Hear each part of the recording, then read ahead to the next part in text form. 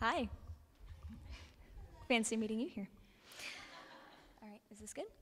I'm good. Okay. Hi, my name is Becca Human. And I'm Jenna. We are seniors at Gretna High School. Hi.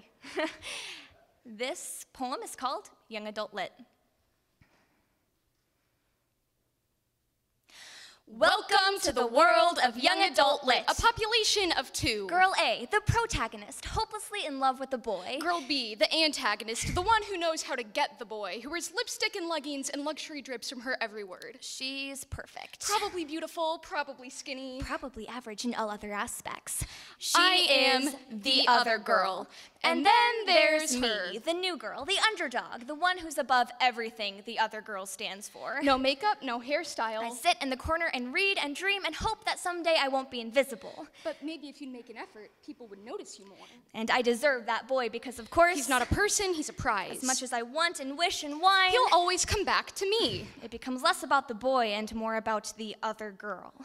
This is what the author wants. The author pits girl against girl. The author slut shames. The author makes us pick a side, and it works. This is the rise of the, nerd girl. Fear it. And unlike the pages of young adult lit, it's anything but fictional. Because the most contagious words are ideas. They grow straight out of the pages into real life. This is young adult misogyny. building some girls up by tearing others down. Forcing competition in compliance with society's conditions for female excellence. Telling girls they aren't good enough unless they break the mold. telling girls they're strong enough if they like the things that, that make them happy.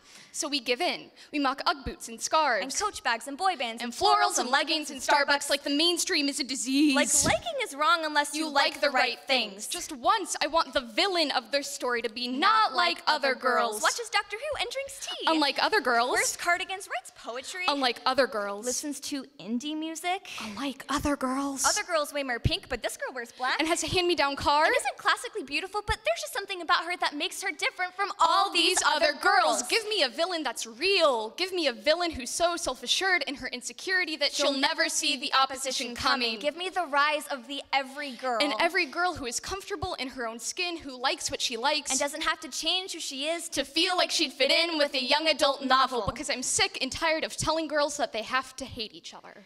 So if, like us, you're waiting for a girl who is like other girls, don't, hold your breath. Because until someone steps forward to be the author who's, not, like other authors, I have a feeling we'll be waiting for, a, very long time.